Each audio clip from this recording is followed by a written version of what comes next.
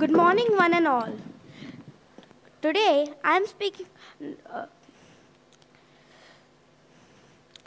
many, many million years ago, our mammalian ancestors developed a new brain feature, the neocortex.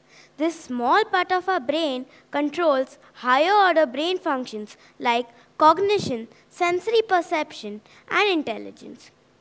Today, technology is trying to recreate this part not in living creatures but in machines. Yes, I am speaking about artificial intelligence. From personal assistants like Siri, Alexa, to Tesla's self driving cars, AI is everywhere. The greatest benefit of AI is greater accuracy and efficiency. AI can be utilized to perform time consuming and repetitive tasks efficiently. End of boring labor is good news. Humans can focus on the creative tasks instead. Artificial intelligence can be used to explore hostile environments like space or depths of oceans, which may not be conducive to human beings.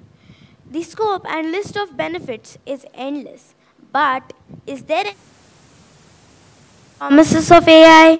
In the movie Spider Man, Spider Man's uncle Ben famously said, With great power comes great responsibility. This is certainly true of AI. The number one downside to AI is the loss of jobs by the lesser skilled workers from various industries. The concept of driverless cars could displace millions of human taxi drivers very quickly. Artificial intelligence also carries the risk of a handful of nations taking control of the entire world. Humans can take unique circumstances into account before making a decision. AI lacks this use of judgment. Can the risks posed by AI be completely eliminated?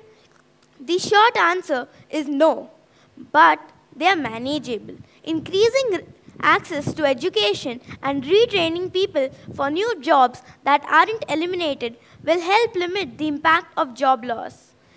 In keeping AI research and advancements open source and available to all will prevent abuse of power by developed countries. A control system to shut AI down will give better control over AI. There is no doubt that AI augments and empowers human intelligence, but as rightly said by Stephen Hawking, computers will overtake humans with AI within the next 100 years.